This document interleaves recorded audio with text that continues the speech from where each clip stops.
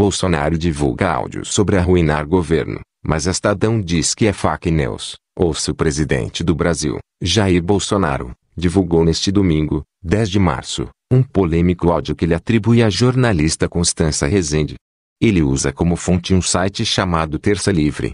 Segundo a publicação do presidente, o áudio evidenciaria que alguns veículos de comunicação querem arruinar seu governo, além de se solicitar o seu impeachment.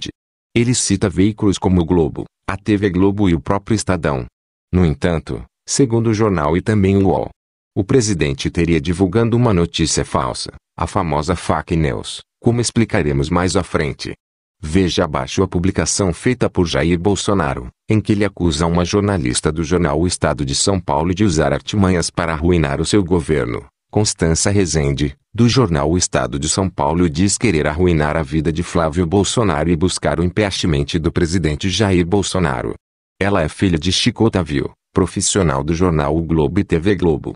A Globo e o Estadão querem derrubar o governo, com chantagens, desinformações e vazamentos.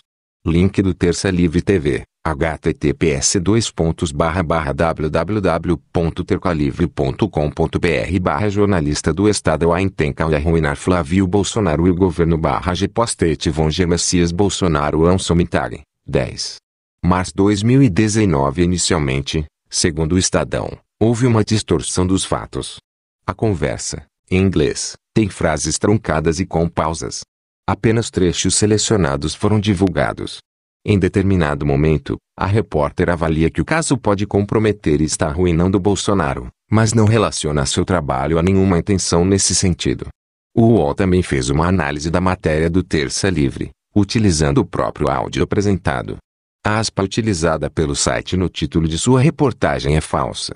A citação atribuída à repórter não aparece sequer na transcrição que a própria página faz de toda a conversa. O jornal e a jornalista citada na matéria negam que tenham conversado com Jawad Halib, suposto jornalista francês que teria ouvido a repórter.